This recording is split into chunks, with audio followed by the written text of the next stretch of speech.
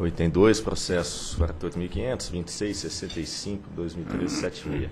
Reajuste tarifário de 2013 da Cooperativa de Energização e Desenvolvimento Rural do Vale do Itajaí. Diretor relator, doutor Edivaldo Santana. Caso também uma permissionária, caso semelhante ao anterior, exceto nos números. O processo foi instruído pela SRE pela nota técnica 395 de 2013. E a, essa, a CEDRIL também passou por revisão tarifária com o valor do reposicionamento de 7,85%, que é o primeiro reajuste após a revisão. O reajuste tarifário anual médio a ser percebido estou no item 7, a tarifa da cedria de 5,92% positivo, sendo 13,03% correspondente ao cálculo econômico e menos 7,11% os componentes financeiros. Isso resulta em um efeito médio para os consumidores de 15,51%. Valor bem maior do que no, no caso anterior.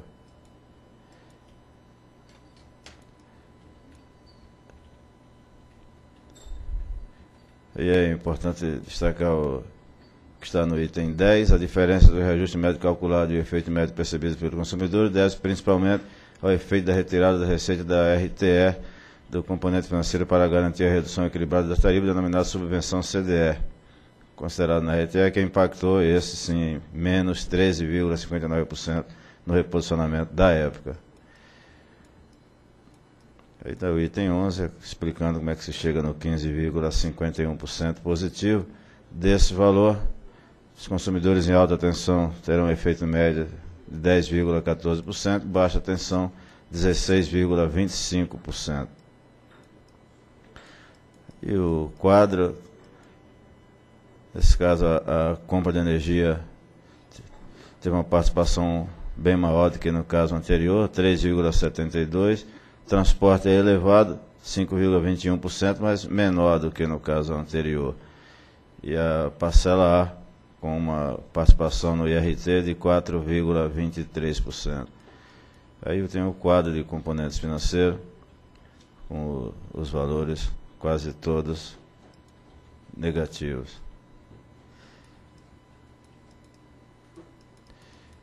Aí tem os, no item 14, da receita R0 da Cedric, é pouco mais de 3 milhões e 100, foi acrescido o valor de R$ 184.500, de modo a considerar o resultado da visão tarifária periódica, que resultou em pouco mais de 2 milhões e 900 reais com a receita RA0 da Cedri. Parcelar, eu já falei o que é que impactou mais, o transporte e o custo da energia comprada, como destacado aí no item 17. Parcela B, essa empresa também, como teve revisão, ela teve um fator X de 1,15%, como IPCA de 6,17%.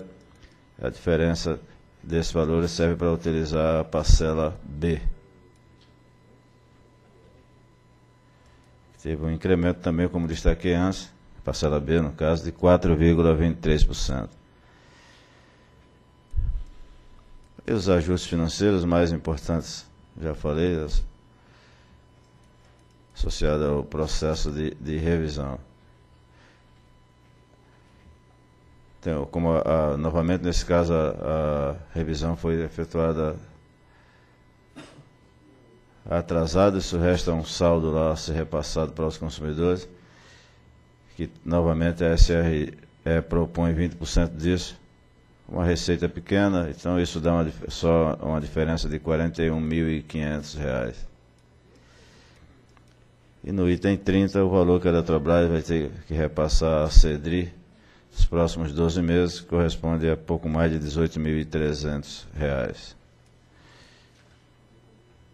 Ah, desculpa. É isso mesmo? É. No período, é, ok. É que lá embaixo tem outro valor, meu, por isso que eu confundi. Uhum.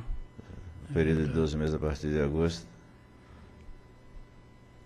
correspondente à revisão extraordinária. Eu tenho que ver aqui que tem uma confusão entre esses dois valores ou eu estou confuso.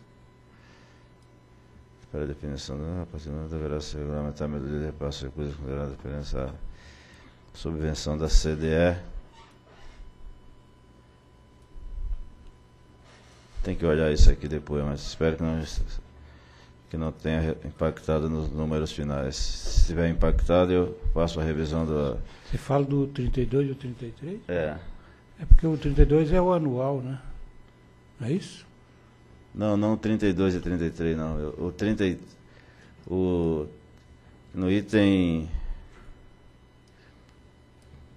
30, o valor mensal a ser repassado pela Eletrobras no período de 12 meses, a partir de agosto, 18.300. Certo. Aí lá embaixo no 33, Ah, tá. novamente o valor de 33.500. Eu tenho que ver qual. Se um desses valores estiver impactado. Tiago, acho que Quer tem. explicar lá, Tiago?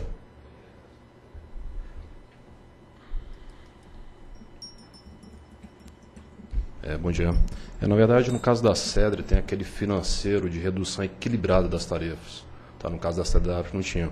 Ah, esse é o segundo, né? Exatamente. Ah, ok. Então, esse segundo aí no valor de em torno de 18 mil é o da Ah, redução ok. equilibrada que não tinha da CEDRAP. E o Ah. anterior é aquele tradicional da retirada da Ok, estrutura. ok. Tá bom, obrigado, Tiago. É. Então vou direto lá para o dispositivo. Diante do exposto do que conta do processo, voto para aprovar a resolução com o objetivo de homologar o reajuste tarifário anual de 5,92 ser aplicado às tarifas da CEDRI a partir de 31 de agosto, que corresponde a um efeito médio de 15,51%, sendo 10,14% em média para os consumidores em alta tensão e 16,25% para de baixa tensão. Fixar a TUSD, relativas ao suprimento da CEDRI pela Electro, vigência também a partir de 31 de agosto, fixar os valores da cota de CDE e do Proinfa, bem como os níveis de descontos para a energia e transporte ser observado nos ajustes tarifários subsequentes, como homologar o valor da CDE, ser repassado a CEDRI pela Eletrobras nos próximos 12 meses e homologar o valor mensal de recursos a ser repassado pela Eletrobras da CEDRI referente ao equilíbrio da redução das tarifas das concessionárias de distribuição. É o voto. Em discussão, em votação. Voto com o relator. Também voto com o relator. Então, a diretoria deliberou por homologar o reajuste tarifário anual em 5,92%, ser aplicado à fatura da CEDRI a partir de 31 de agosto de 2013.